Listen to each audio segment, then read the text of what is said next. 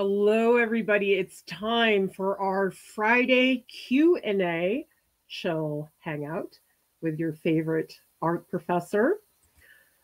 Art Prof is a global community for learning visual arts. And if you would like to grow as an artist and you can't take an art class, we've got everything you need here at Art Prof critiques, tutorials, professional development, and workshops. Tell me in the chat, how was your week as an artist? Any updates on fun, shiny art supplies? Maybe you fought a civil war with one of your paintings.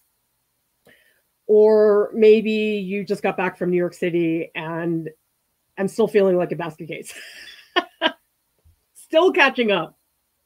That's the worst part of travel is you get to go and hang out with magical art supplies that are in New York City, but then you come back to just this wall of emails which is pretty much what I'm going through right now.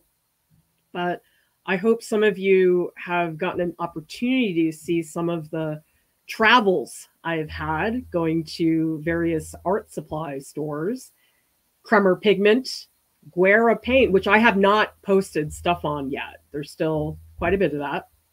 And also the Complete Sculptor, which is an incredible art supply store that's in Manhattan.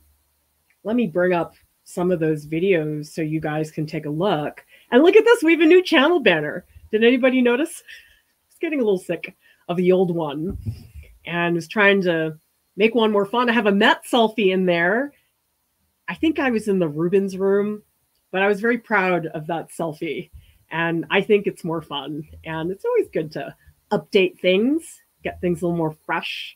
So tell me in the chat your questions. What would you like to pick my brain about? Because my goodness, there's a lot to talk about when you're an artist. And it's amazing how sometimes we produce these one minute videos and some of them are hyper specific. And I oftentimes say to myself, does anybody really care about this thing to the depth that I do? And it's like, you guys do. And that's why you're the best audience because you guys really understand that these little little things about being an artist they actually matter so if some of you didn't have an opportunity because oh cool. I'm so glad you like the complete sculptor videos. They really could only exist in new york. It's just so specialized. And i spent so much time there. So this is the visit. This is their marble and rock area, which I mean, I just look at those rocks and I'm like, who does this? Who transforms this into a sculpture? I mean, after you see something like this, you touch a piece of marble, you just cannot believe that people ever made anything out of these pieces of stone. So Amanda is asking, what was your favorite room at the Met? I think probably this is one of my favorite rooms. It's this huge sculpture hallway. And it has two of my favorite sculptures in there, Burghers of Calais by Rodin that you're seeing right now. And then the Carpeaux sculpture, Ugolino and his sons. And it's just a beautiful sculpture gallery. There's lots of light, high ceilings. I, I always make sure every time I go to the Met, I always go to this room. The other rooms, yeah, it's okay if I skip it. But then the second best one, I guess if we want to talk about 2D, would probably be the Rembrandt room because oh, just being in a room with Rembrandt paintings. There are a lot of paintings that honestly, this is terrible for me to say, but I just don't think there's a big difference between seeing them in real life and in the digital image. There is. I'm not saying there is not, but there are definitely some paintings where I see them in person and I'm like, oh, yeah, that's what I thought it'd look like. But a Rembrandt painting, it is not what you could ever think it was like. You might think that you could think about what it is, but something about a Rembrandt painting that is so different. The the luminosity, the glow that is coming off of those paintings. There's no painter who I think is like that in the way that Rembrandt is. So Sue Janeth says, I feel we as artists want one medium to fulfill all of our artistic needs, but rarely happens. Each medium has a limit. Please comment. Example, gouache almost works like oils, but difficult to blend seamlessly. That's true. Different media can only do certain things. But I would like to flip it around and think about it from an angle that says, hey, what are the assets of this material? What is gouache really, really good at that no other material can do? Because I think the thing is, when we expect a material to behave a certain way, we want it to do this thing.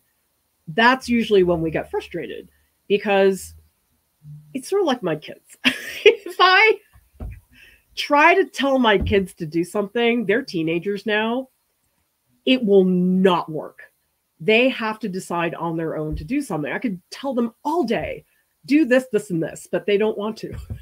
And that's the thing is, is you have to embrace the material for what it is. And when you think about it in terms of, oh, well, I can't do this, I can't do that, can't do that, that's just a way to make the material feel really inflexible because you're trying to make it do something that is very difficult to do. Now, there are some people who do that, who use materials in a way where you are making it do something that it doesn't want to do, but they really are committed to that experience. So I don't think necessarily that people want one medium to fulfill all their artistic needs. I certainly don't gosh, I'd be miserable if I wanted that to be the case. And so I would say that you probably don't want to expect one material to do that because I just don't think that's possible. There's so many media and they have so many different talents. By the way, we do have space. Oil Pastel Workshop, Saturday, March 23rd. We still have a few spots open if you guys would like to register. You get to work with me in real time. It is really, really fun. Margaret says, Thanks for clay reviews. I'm thinking of trying oil based clay next, so I was glad to get that info. Well, we have more info in our website. There's a 3D area, and half the tutorials in there are oil based clay. And of course, if you guys are in our Discord, you can also ask us there as well for support because oil based clay, it's fantastic for certain things. First of all, home studios is perfect because when I was in graduate school, we modeled these huge figures. And we did them with ceramic clay. But the issue with ceramic clay is you have to keep it wet and it also creates a ton of dust everywhere. And so oil based clay is just the greatest thing because you don't have to worry about it drying out and there's no dust. It's really quite a sweet deal. U11 is asking How did Renaissance painters depict ancient Greek and Roman cultures? I would probably have to go back and look really carefully at some Renaissance paintings to give you a more concrete answer. But actually, a lot of it was that in the Renaissance, they were really obsessed with linear perspective it was like this new toy. Like once they figured it out, they're like, oh my God, we have to put it in every painting. So you'll notice a lot of Renaissance paintings. There's just so much linear perspective. You notice that it's not an accident that they were really into these checkerboard floors because that just really pushes that. And so oftentimes you will see ancient buildings placed in perspective in Renaissance paintings that would be my guess. I'd have to again take a closer look at a specific painting to really get into that. Carolyn says, viewing works in person is so different from seeing them on a screen. You can really see the textures and the impact of the scale of the piece. And another thing, too, is when I was at the Met, Ugolino and his sons, it's an incredible composition in that it looks amazing from every single point of view. And not every sculpture is like that. There are some sculptures that are like clearly this is the back, and the sculptor wasn't really that invested in that. But I find what happens a lot is these really famous sculptures, you don't get to see the back very often. So I made sure when I was looking at Rodin's Burghers of Calais, I took pictures of the feet. I took pictures of the back of it, which is not a very commonly photographed point of view. And I did that too with Rodin's Hand of God. It's another marble sculpture. And so I do find that if, if you look up Michelangelo's David, it's almost all front shots. I mean, maybe there's a few of the back, but not that many. So for me, that's a very compelling reason to want to see sculpture in person. Pat says, love the tour of the sculpture supply store. There's a place like that just outside of Toronto that I love to visit, but it's a fraction of the size. I really could have spent five straight days in there shooting because the amount of things, oh my God, like the tools alone, the tools were just out of control. Like I saw this one shelf, it was just like packed with wood sculpture tools. It's like really amazing. Yeah, so Anna makes a good point here. Materials have their limits. You can push it, but not break them. It's like asking a dog to be a cat. Yes. And what I typically do is I try to identify what is the material that is the best suited for the thing I want to do. So that's another reason I don't just work in one material because I like having that opportunity to say, you know what, this really would not work well in oil pastel, but it would work really well in colored pencil. So for me, that versatility, having experience in different media is very, very helpful because then I have that option. Like if you only work in one material, then you can't really give yourself other ways of working. And Sonnet says, I'm working on a painting I started in Open Studio to suggest blocking in the colors and values to start. The point of the painting is the light. So should I focus on that? Well, I'm so glad to hear that. In case some of you guys don't know what Sonnet is talking about, we have Open Studios Club, which is in the Discord. And by the way, everybody in the Discord gets one free session take us up on it. It's basically a free workshop in a way because you get to be with me live on voice.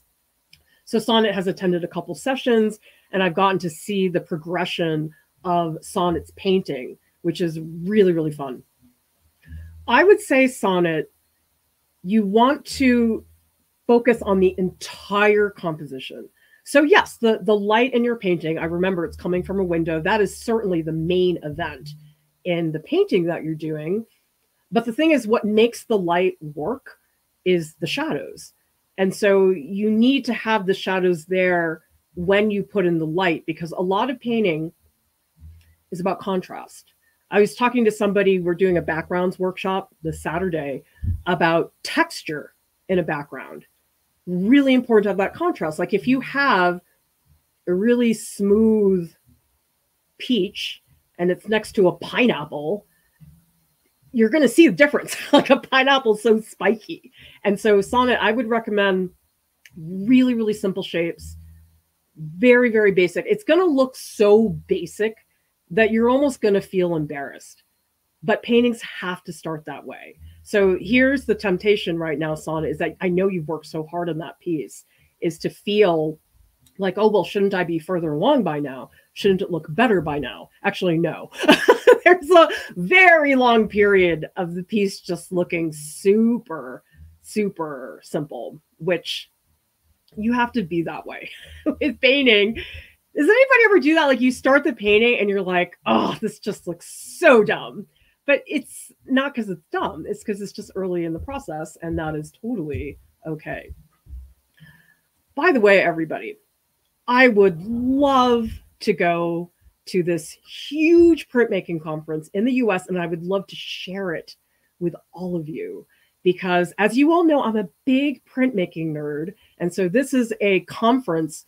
It is hosted by the Southern Graphics Council. It's one of the biggest printmaking organizations in the US.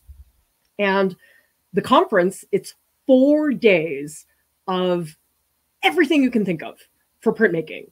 All these print shops open. It's in Providence this year. And so I know RISD's hoping hosting a bunch of things. There are artist talks, there are panel discussions. I know some of the libraries open up their collections. Sometimes they have books and stuff like that that have printmaking or their collections, museum talks, and oh my God, there's a materials fair. Just picture all of the specialized printmaking suppliers in one giant room, and they all have a table and they all brought all their stuff. And you get to walk around and just ah, touch all the burnishers and scrapers. So the first year that I went to this conference was in 2004. I was about to graduate graduate school. And I just went because my professor said, well, they have this open portfolio session, and you know, that would be really nice for you to go there. It was at Rutgers. And so I went there just thinking, oh, I'll go to this portfolio thing. And I had no idea what I was stepping into.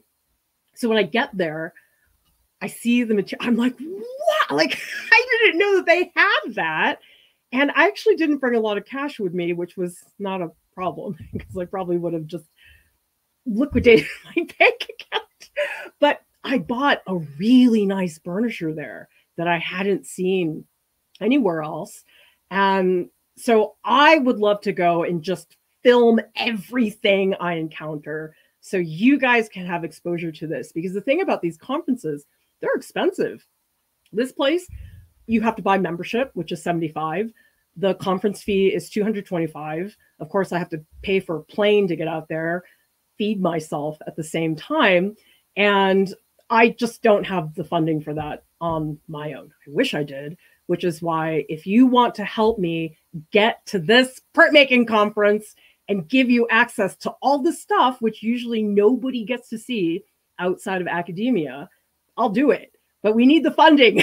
so if you want to help out, there is a link in the video description below with all the information. Like I give you guys my budget and the breakdown and everything for how to get me there. I would so much love that because it, it really is a tragedy to me that these incredible demonstrations and artist talks and nobody knows they're there except for the same i don't know 300 people that go every year and it's just the coolest thing like they have all these demonstrations and yeah anyway help me get there because i want to share it with you guys it really would be amazing content it's also everything at the conference is like super super specialized so everything is just so niche and amazing Kathy is asking, I paint watercolor and gouache, but I'm itching to try oil. Thinking about water soluble oil as a way to start. Without the solvents, can I do without special ventilation? Yeah, water soluble oil paints is all water based. So you don't have to use any solvent. Water soluble oil paints, they do have mediums the same way you would with oil paint, but they are specially formulated for the water soluble oils. So you can't take, let's say, linseed oil that you would be using for oil paint and put it in water soluble oil paint. You have to make sure it's linseed oil that is specially formulated for water soluble oil paint. And so, what I typically recommend to people is to stay within one manufacturer if you've never done it before. So, for example, I was using Winsor Newton water soluble oils and I bought a bunch of their, well, I didn't because they sent it to me, but they had all these oil based mediums and thickeners and slow dry medium and stuff. And I use those. So you just have to make sure you don't mix them because they're not the same thing. But it's a good entry point. The only thing I would say, Kathy, and we have several tutorials on water soluble oils. I know a lot of people, number one, they're safer in terms of ventilation, much, much better than oils. But I will say it's not that close to what oil painting is like. And a lot of people ask me, well, what's the comparison? And I almost feel like it's a different paint. It's just very different. And when I think about it in comparison to oils, it just feels inferior. So I think for me, a better way to think about it would be to say, oh, okay, water soluble oils is this type of paint, oil paint is this type of paint. Because when I try to compare them, I just get a little upset. but just type Art Prof water soluble into YouTube and you'll find it. You can do the same thing on artprof.org, our website. And let's see. Good point from Anna. Water soluble oils aren't real oil paints, they are just goopy. I don't know how they're actually made. I don't have the specifics of that, but they you're right, they really don't feel like oils to me. It, it's just it's a different paint medium altogether. Dominion is asking, can digital prints be put in a museum? Oh yeah, absolutely. They can put anything in a museum. And I think with AI coming up, MoMA had a huge AI installation in their lobby. There's just like huge screen. It's a giant wall. And ah, I can't remember the artist's name, but the the very harsh critics described it as looking like a fancy screensaver. But that was an AI piece and it was in MoMA. And so I don't think I would say that anything is really off limits for a museum in terms of materials, unless it's a safety issue I mean, I've seen all kinds of things be put. I, I've seen hunks of poo in there. I mean, there was an artist a long time ago. I think his thing was just this big mound of elephant dung or something like. I mean, people do all kinds of things in the museum. So yes, absolutely. And Thank you, Pat. So appreciate the support. Oh my gosh, I, I wish I could lead an art prof tour at that conference, but I know for a lot of people they can't travel. I had somebody tell me I'm immunocompromised. I'm not able to travel to places like that. A lot of people can't afford it. I can't afford it. I think that's why I'm asking people to help me out because I can't afford to go. Amaris is asking, how can I improve my backgrounds and portrait drawings? I'm always studying and looking for new ways to experiment and practice. Just tired of my mom roasting me about my work and not looking great. I think that's really frustrating, Amaris. Because, okay, raise your hand. Who here has gotten pressure from family, friends, just people in your life, whoever they are, who think you're not doing enough or think you should paint this or think you shouldn't paint that or whatever it is. I just think people need to keep their opinions to themselves because to me, crit should be something you're asking for. I mean, if you come to me and say, Well, can you help me with this portrait? What can I improve? Yes, I will do that. But I will never just go to a person and be like, You shouldn't do that. Or what, like, even my kids who make art, I don't make comments about their stuff because I want them to just have it be what it is. And it works out better that way. but yeah, I, I, think it might be Amaris. I, I don't know the specifics of the situation, but you may have to just in one ear, out the other, because there really are certain people who are not good to talk to about your work, people who don't fundamentally understand why you do what you do and it's just inevitably frustrating. I mean, you can't do anything to change their minds, to educate them. I mean, maybe you could, but that takes a while. That's not something you can do immediately. So I think it's not that your work is bad. I think it's just it's the wrong person to give you that information. But the main thing about backgrounds, because we have been talking about backgrounds quite a bit in the backgrounds workshop that we're doing tomorrow, is to ask yourself how that background can contribute to your story. So if you're doing a background and it's a portrait of a person, okay? Think about the places people inhabit and how much those places impact how we see or perceive somebody. So I've always thought it was very interesting because if you look at TV shows, think about the people that design those interiors, the people who have to buy the props. So, for example, I'm actually watching The Sopranos right now. I know it's like 20 years later. Who here has seen The Sopranos? I, I'm surprised. It's really a great show. But when I think about the design of their house and what that house says about them is really a character study. I mean, if you think about people's childhood bedrooms, I mean, I was a angsty teenager. I had like cure posters all over. I mean, that that was my world at that time. And so a space can say a lot about a person. Like you can look at my space, maybe you never met me before, but you can say, okay, you're an artist. Yes, you don't know how to clean. And number three, what are you doing? Because your stuff is all over the place. Some other people might have an art studio that's very neat, and that's more reflective of their personality or maybe their willingness to clean, which I don't have a lot of that. And some great suggestions in here about water soluble stuff. And we also have Deb Lee, who says At the Met, my daughter and I got a lot of ideas for design from the South American Peruvian artifacts.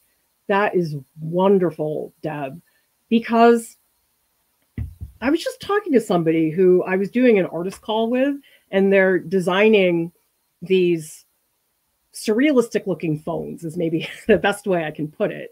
And we were talking about different things in history that they could look at for inspiration. So one thing I did bring up was masks because masks have such wonderful shapes in them depending on the culture and time period.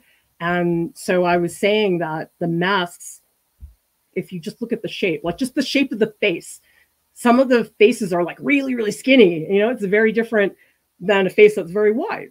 So I'm so happy you did that because people need to look at art that's not on Instagram.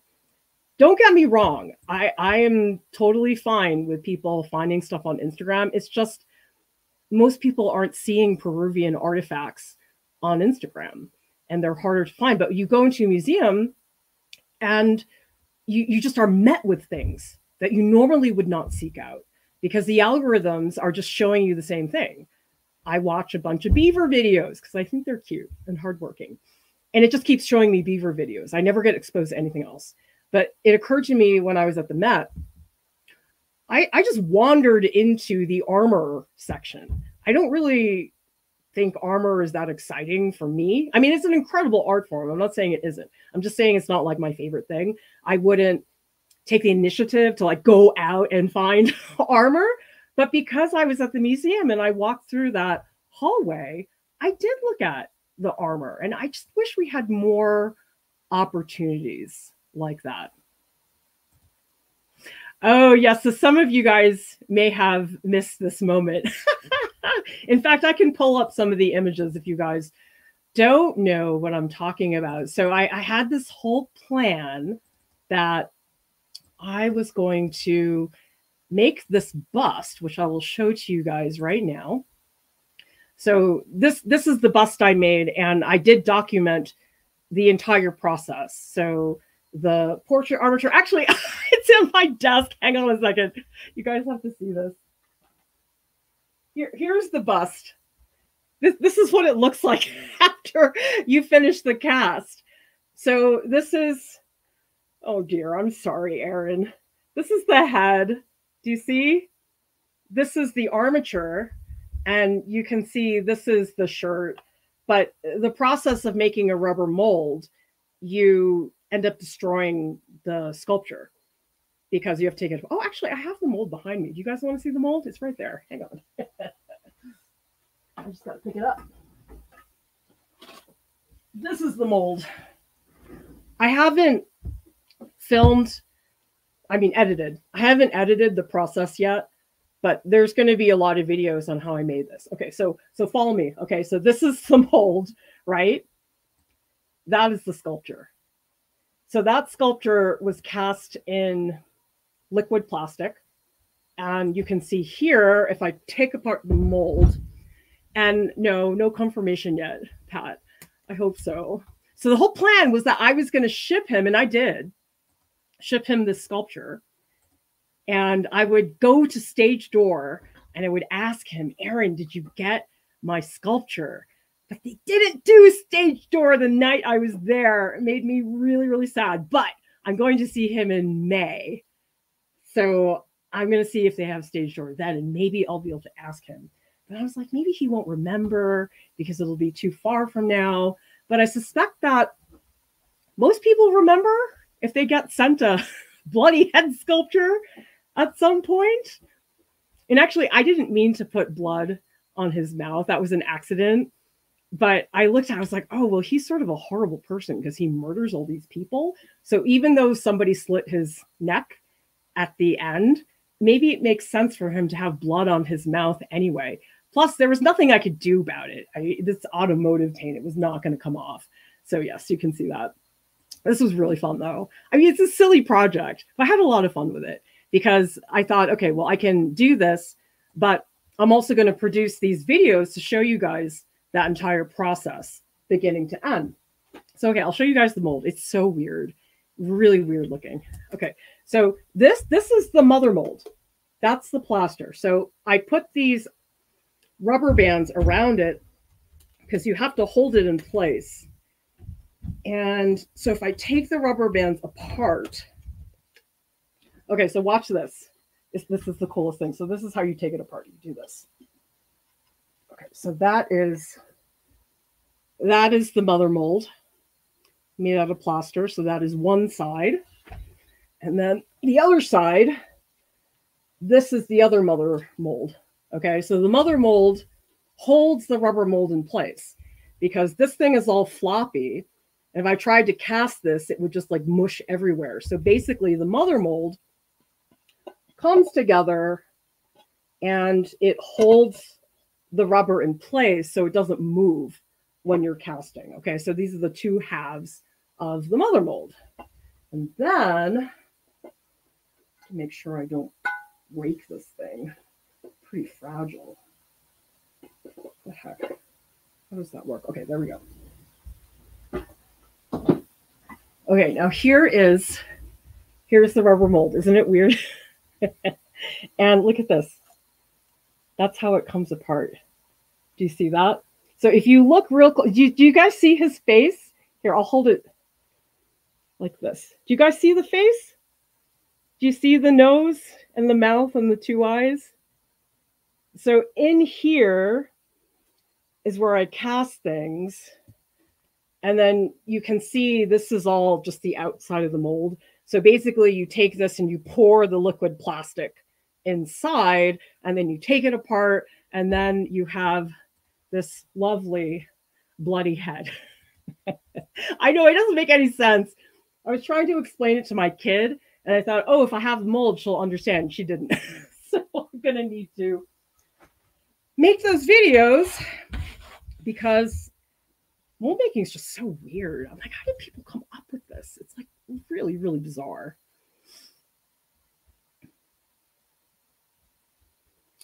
And let's see. Kathy, thank you so much for the super sticker. We so much appreciate that. Yeah, any super sticker, super chat you guys give us right now, it's going right to the printmaking conference trip. I'm really hoping I get enough to go because it, oh my god, I just I keep drooling over the content that I could share with all of you by going there. All right, let's see. Thank you so much, Margaret. So much appreciate everybody's support. It means so much to us. I wish I were in a place where I never had to ask people to help us out, but we are not at that point yet. And yes, there's an armor section. It's like huge room, almost as big as that Rodin room. It's all like life size. I mean, not like there's other sizes of armor, but they had huge samurai things that oh my god it's like i kind of can't believe that people spent so much time on the artistry of those are and it's like they're going right into battle. It's like, no, you're gonna destroy these like beautiful handmade pieces of armor. Lisa says, wondering if his security flipped over the red blood. I don't know. I, I did do it signature required. I don't know if that makes a difference. I don't know. I'd like to get tackled at the stage door. well, not by security. And Jen says, I was afraid someone would be afraid due to the subject matter and misunderstand the gift. I mean, it is Sweeney Todd. If you don't know that Sweeney Todd has a lot of blood in it, like you obviously did not read the story. Real Deal says used to work in special makeup effects, did a lot of sculpting and mold making. Oh my gosh, the stuff that I see people, you know how sometimes they do like behind the scenes for movies. I cannot believe the complexity of the molds that they make, especially when you're doing life casting. It's just a ton of work. And casting is one of those things, it's like it works or it doesn't. Like you can just lose the whole thing if you mess something up. Oh, so Susan, the mother mold is cast in plaster, but I actually apply the plaster with a knife. So when I release the video, you guys will see it, it looks like I'm frosting a cake. it's basically it. It's not poured. And I know a lot of the times that's how people use plaster, but I have this wonderful friend who taught me this amazing plaster technique that works incredibly well. So I'm going to cut a reel that shows you guys that process. Kathy's asking, are you going to cast more copies of this one? It's kind of like a 3D print. Yeah, it is. The only problem, oh God, you guys, so embarrassing. So when I made the cast, I was like, oh, everything's going along. Okay. then I take it apart and I go to put it together to pour the rest of the, the rubber. I missed this one step one one stupid step. I can't even tell you what it is because it won't make sense. But it's a step that takes one second, and I didn't do it. And so the consequence of that is I have a hole in the rubber, which is very bad. So I think what I'd have to do first is repair the ru- rubber mold, see if I can get it to work. Because the other issue I had is that it did leak when I cast it. The good thing is that the liquid plastic it sets really fast. It sets you have basically three minutes to stir it before it hardens. And so luckily it did harden in time to like plug the leak, but I really need to fix that rubber mold. But yes, in theory, I could make 50 bloody heads if I wanted to. I mean, of course, the blood would be different on every single one, but yeah, I totally could. I want to, and I want to try some other materials I use that liquid plastic because I've used it a lot in the past. I didn't want to try something new, but you guys probably saw at the Complete Sculptor video that they have all these samples. It's amazing.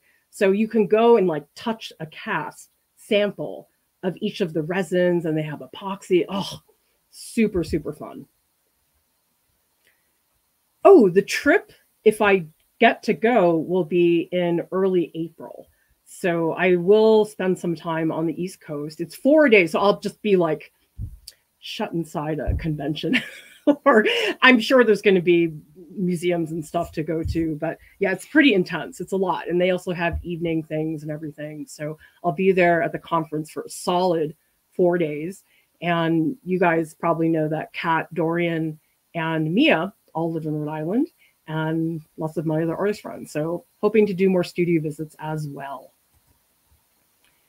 And Susan's asking, Have you tried dental stone? I have not, but you guys know what I picked up? I picked up a set of dental carving tools at the Complete Sculptor. And you know what I did? I, I went to the Complete Sculptor first, and then I was going to go to the Met and I had these in my bag. I was like, oh my God, are they going to take this away? Because the museum security has gotten to be really uh, comprehensive. When I went to MoMA, like I had a whole thing, like they were like doing that thing around your body and everything. And actually, it made me wonder if they've pumped up the security because of those climate protest things. I, I mean, I have to imagine from a security point of view for a museum, it must be incredibly stressful. And let's see, we also have Real Deal says developed a latex allergy from looking from latex, ultimately caused a lot of food allergies to plant foods. I recommend using silicone. I thought rubber and silicone were sort of interchangeable as a word, although I don't know. I love silicone because silicone to me is like a miracle. It's like it doesn't stick to anything. There are certain molds where you have to apply something called a release agent. So that's to make sure that the, the mold actually pulls away from the cast. Some things, if you don't do the release agent, it's not going to work. But silicone, like I just don't use the release agent. There's no point. It doesn't stick to anything. It's it's really a miracle. Anna's asking, are you coming back to New York? I will at some point for sure, but not for a little while because hopefully I'm gonna go to this printmaking conference. And then in May, I'm very excited. I'm going to LA. So I get to see Jordan. And it occurred to me, I was like, I've never been to any of the California museums. Like I haven't been to the Getty, I haven't been to San Francisco MoMA. So I definitely want to do that. And oh, too bad Aaron Tveit has a concert in LA. I'm just gonna follow him around the world. And then in June, I have a very special trip planned, and I'm not going to reveal anything about it right now, but it's going to get amazing footage that I'm oh, so, so thrilled about. Carolyn says, if you go to the conference, will you have a meetup in the area? Oh, that's really smart. Yeah, actually, I did talk to somebody, messaged me on Instagram, and they were like, oh, I really hope you can come and I can meet you and everything. Yeah, the best thing about that conference is that I, I hate making small talk and I hate being put on the spot to do social things. But in printmaking, in the it's so tiny and so specialized that you can strike up a conversation with anybody in like two seconds. It's really, really nice. It's not a lot of places that I feel I could do that. But I remember the first time I went, I was like, wow, I can I can talk to these people. like it's actually really easy to talk to everybody. But yeah, I mean, I've done things where we'll just have like a lunch meetup or something because or dinner meetup or something. So yeah, I'll see if I can do it. But first I have to get to the conference. Let's do that first. Susan saying, Are you ever coming to Florida? You know something? Somebody in a workshop from, I think it was two weeks ago, they did a, I think it was DJ in the Discord. I think, I could be wrong, but they did a watercolor painting of the Everglades in Florida. And I've never seen the Everglades before. And I was just blown away by how strange the shapes were. Like I'd never really seen trees like that. But yeah, if anybody wants to fly me anywhere in the world, I will show up because I've got the travel bug and I love showing up in some country, some city, and there's like 20 people there who want to see me. It's the thing. I mean, there's a whole bunch of you guys who I have seen in person for that reason. Oh my gosh, Jen, San Francisco. my San Francisco story is that I was there for a wedding. So I was only there for like the weekend. We went to this restaurant. I can't remember what it was called, but it was basically the best way I could describe it Indian food on pizza. And we took a red eye back and oh i ugh, i've never thrown up on a plane before. And that was my first time. It was really bad.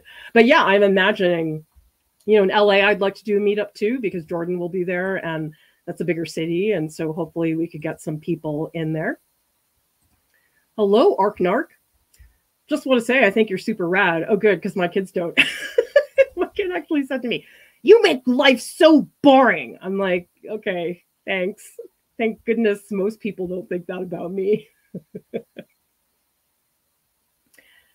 oh, thank you, Susan. Yeah, I had a lot of people who showed me around when I went to Portugal. I had people who drove me around town and everything. I mean, to me, that's the best way to visit a city is to go with somebody who actually knows the place. I think it was Mariana who we did a studio visit with in Lisbon, Portugal. And she showed us this amazing view that was at the top. It was like this cafe at the top of this department store. And she said, nobody knows it's there unless you're a local. And I was like, okay, this is the type of thing that I want to do for sure. and I know, like, I would think I would have liked it. I like both. I don't know why it just didn't sit well with my stomach that day. So maybe I need to try it again at some point. And Alexander is asking, I bought my first Winsor Newton acrylics. Are they good? It's just for a tea tray, but I normally just use apple barrel. What kind did you buy, Alexander? Is it the Winton brand that they have? So Winton is the student grade paint of Winsor Newton, but they also have professional grade acrylics. Come to think of it, I don't think I've really used their acrylics that much. Yeah, not at all. I guess because I like to use golden a lot. And also, this place, what's their name? Sennelier. Okay. They sent me an absurd amount of acrylic paint. And so I always feel like I have to use that because it's there. But you guys should wait and see. I went to Guerra Paint in Brooklyn, New York, where it's basically customize your own paint. I mean, I know we talk about art supply stores as candy stores, but this is literally make your own ice cream sundae, but with paint.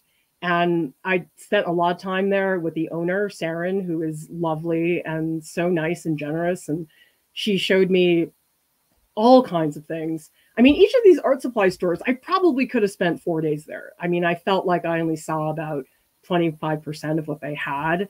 And I just didn't even know that was possible. So, one thing I did was I said to Sarah, okay, well, since we can customize something for me, maybe I should tell you what are some of the things that I wish my paints did. And so the first one was that I'm always looking for an opaque white. And I found it. Actually, I have it right here. this is perfect. So I have this white 2.0 by Stuart Semple, and it's very opaque, but it's a little runny it's a little runnier than I'd like it to be. And I would love to have a white that is this opaque, but is denser in pigment and not so runny. And so she was giving me some options and she did give me, did I leave it here? Let me see if I can find it. I still haven't unpacked my suitcase. It's right here. Oh, I found it. Oh, cool. Okay. Wow, everything's just like within arm's reach. Okay, so let me show you guys this. So she gave me this. Okay, so this is a tiny bottle of titanium white and it's very high in pigment. So it's it's actually heavy. I know it looks like a tiny little bottle, but it, it weighs a lot. And she said the reason why is because it has a lot of pigment in it. And she had some other jars of this, which is like high pigment, and they were so heavy. Like I, I'd never held something that heavy before. That was a bottle of paint. And she also gave me this. And I'm going to have a couple other things later. Look at this thing. Has anybody heard of this? This is called Aquazol. And you can see here it says high performance water soluble polymer. And I guess this is used a lot in watercolor paints. And so she said they're, they're crystals. So if you hear that, see if I can open it. Oh, there it is. Okay. So I don't know if you guys can see very well, but those are the crystals. Maybe I can pick some up for you guys to see. So these crystals, but what you do is you melt it in water. So it almost becomes like a matte medium that you make yourself. Because I told Saren that I really liked thin glazes. And so she was like, oh, you might like this one. And then they have, oh my God, just shelves of glittery, shiny things. So if you guys don't know, I'll type it into the chat. Guerra Paint and Pigment. They are also on Instagram. And certainly you can order off their website, but it's so fun to go to the store. And if you can't go, you can live vicariously through our reels because, oh my God, I was like hyperventilating. and Anna's asking, could you go to the conference for a day? I think I might be going if I could take the bus there. I don't think they have day rates. You'll have to look it up, but that's not typical for a conference. Usually you, you just have to get the whole conference package, but look into it. I don't know what they have. Yes, it's like Cold Stone Creamery for paint. It's better than that. Like you guys have no idea. Okay, I better cut some reels this weekend because I keep telling everybody about it and I haven't cut the reels yet. Yeah, so AA you can put in pick your binder, pick your pigment and so many additives. There's like thickeners, there's stuff that makes your paint like a 3D sculpture. I mean, you guys are going to flip when I show you this stuff. So I don't think I don't think the crystal is binder. I think this is I mean, I so do not have the terminology correct. You'll have to listen to what the owner says because she's the really the one that knows. This just says water soluble polymer. So I don't think this is the binder. Again, I could be wrong. I haven't opened it up yet, but um, when you guys have questions about it that comes out, you know, I'll I'll let Guerra know, and if you just tag them and stuff, I'm sure they'd be happy to help you. Oh, I like what Carolyn here is saying. Compounds are made with heavy metals are always surprising. The bottles in the lab with lead compounds in them are shockingly heavy when you pick them up. Oh, that's really cool. I know. I really felt when I went to their store, I mean, it was like entering a science lab. And they had this incredible wall that was just huge color chart with swatches. And oh my God, I could go on and on and on. Yeah. So I'm really hoping that you guys can live vicariously through that because I don't know. I think that's a lot of what social media is for a lot of people is to see things you normally would not get to see. And hopefully it's with somebody whose commentary you like. I mean, me and Deepti had such a great time at MoMA. We have many more videos coming out. Art Fossil says, I was doing art history research one day. I found a fresco like process that used to paint made of glass. Anyone else know what I'm talking about by chance? Paint made of glass? Nothing comes to mind. Are you saying it was fresco or it was like, I mean, it's fresco like process? Yeah, I'm not really sure. I guess I'd need more information, Art, to know exactly what you're referring to. So, yeah, sorry, I don't have an answer. Okay, thank you. Blue Wren did the research for us. The Aquazol is a binder that can be used to make watercolor and gouache, according to Guerra Paints website. Okay, so it is a binder. Okay, don't listen to me. Go to the Guerra website and you guys will figure out what everything is oh, you should go, Sarah. Because the other thing is, I talked to them about they do demos for everybody. So they don't pick people to do demos for. Like you just walk in and they'll give you a demo. It's amazing. But I was explaining to them that actually what they do, a lot of it is educational because, well, yes, I mean, they're a company that sells all these supplies. I learned so much just spending that day, like the way she described all of the elements and the interactions between pigments and certain binders. I mean, I really felt like I was getting a crash course in how paints are assembled. And the company was actually started by Guerra, Art Guerra. He passed away, but now Saren runs it. And I believe um, Saren's partner makes the paint, which I couldn't see because, you know, industry secrets and stuff like that. And okay, so wish you had more information. Art so long ago. Yeah, sorry, it's hard to tell because there's just so many ways to paint, and it's hard to know exactly how to find things. Well, okay, but in Guerra's website, they had glass beads. And the thing is, some of the glass beads, I mean, they look like glass beads, regular ones. But then they have glass beads and they're ground up super fine. I mean, like they look like sand. And so they had glass beads that were various sizes going all the way down to being very fine. And so I've never done that before. I don't really know what that's like. But they had pumice rocks, all kinds of amazing additives. I mean, I'm not somebody who paints three dimensionally at all. But going to that store, I was like, hmm, I need to find a reason to use all this stuff. Because Lauren had done that painting that was geese eating peas. And the peas had this beautiful luminosity, and they were glass beads, basically. What I think they were. I could be wrong, but they were definitely some additives that Guerra that she had bought at Guerra. So yeah. And they're big painting nerds there it's run by artists. It's it's very different than when you walk into like a big corporate company type of thing. Not going to mention the name. oh, duh. Thank you, Susan.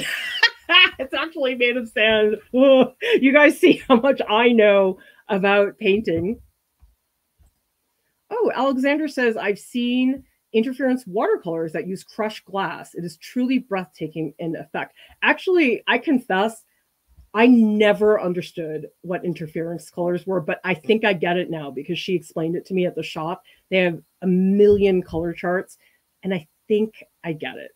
But ugh, I don't know, my brain just doesn't work that way. Has anybody here heard of interference paint? I didn't know about it at all until Lauren told me. And even then, I didn't really understand. I guess I should just get some and see how it functions because there's some I guess similarities with pearlescent paint because pearlescent paint does look different depending on the angle, but I think with interference paint, like it really changes colors. Like pearlescent, sometimes it just gets like brighter or shinier, but the interference, like this red would just like turn into green. It was crazy looking. Oh, so Alexander says, I use them as a final glaze for shimmery color change. Oh man. too many art supplies in the world. Okay, everybody, we got a few minutes left.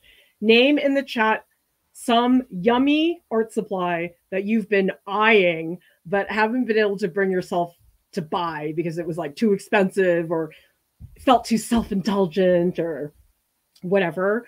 I mean, maybe I would just say I just buy out the full catalog of rubber from the complete sculptor. Or I'd actually like to try casting in foam. So many weird, foam, like you mix them and you pour them and they go, and I don't know what I would do with foam. I can't imagine a foam project for myself, but I just would like to try every single thing that you can cast because they have a lot of resins that are translucent and they also have some that are softer and actually, I've never mixed epoxy before. So they have liquid epoxy that you can mix and then cast. And some of them look like glass, like they're so clear and easy to see through. Gouache. Oh, I've never tried Holbein's gouache. I really don't have a lot of experience with gouache. Actually, the material that I really want to try next is probably Flashe paint. Has anybody here heard of Flashe paint? It's F A F A F L A S H E. And I've heard that it's, I know, it sort of sounds like something I would want. I, I still don't totally understand what Flashe paint is, but I'm noticing that I do better with sort of like flatter paint, but not like wash. Like wash isn't really my cup of tea, but I, I've really been eyeing those Flashe paints because I'm, I'm just so curious how they function. Oh, Pat, a printmaking press. That is so worth it because once you have a little printing press, I mean, you don't have to print big to make wonderful prints. And I think you would love that. Ooh, Schmincke gouache, says Sarah. Seven Angelic, liquid graphite. All right. And Wing Canvas says Rembrandt special effects paints. I've never heard of those before. Oh, thank you, Blue Wren. you got all the answers. Flashe paint is a vinyl paint that dries completely matte. That was it. That was the thing about Flashe paint that interested me was that it dries totally matte. Can be mixed with any acrylic mediums. Yeah, I don't know. I have to do my research on it. And by the way, you guys, if you have an art supply and you do want me to test it, you can send me art supplies if you just type art supplies. What was the name of the page? I'll have to remember what that is, but we do have an Amazon wish list. Oh, it's called Art Supply Reactions. Okay, so if you guys go to our website and you just type into the search bar Art Supply Reactions, you will see that we do have a structured way that you can send us art supplies. For example, I have a wish list.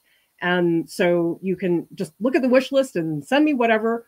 Or if you have a suggestion like, oh, you want to see me try this, you can just tell me in the Discord on social media and I can add it to my wish list because some lovely people have already sent me some really, really cool things. And I'm always game for more art supplies. So you guys can always send that out if that is something you are curious about because we'll never ever get tired of that ever. Okay, everybody, join our Patreon group. We have weekly voice sessions with staff, critiques from me, and most of all, a small group of artists. Visit artprof.org. We have so much content on there that's not on YouTube. We have services like artist calls, statement editing, portfolio critiques, and you can also sponsor a video. So if you want me to make a video about a particular art supply, about a particular topic, you can sponsor that video and we will make it for you. No Discord chat after Friday night hangouts, but there will be one on the Sunday stream. Gosh, I should figure out what I'm doing. Oh, the Sunday stream. Oh, it's not an art along. It's with my art director, Ashley, and she is doing a Q&A on art directing. And so this, this is a great way you're going to get insider info. A lot of that content is not available online. So that's going to be a really fun stream. Those of you guys who have interest in that. Right, I just told you about the Patreon group. Okay, sorry, all these slides. I have too many slides in here. Big thank you to our top Patreon supporters who keep the lights on. You guys are critical to our budget. We would not be here without you. Art Prof has a podcast. It's available on Spotify and also on iTunes. And subscribe to our channel for more tutorials, critiques, and business tips. Everybody, thank you so much for watching. I'll see you next time. Bye.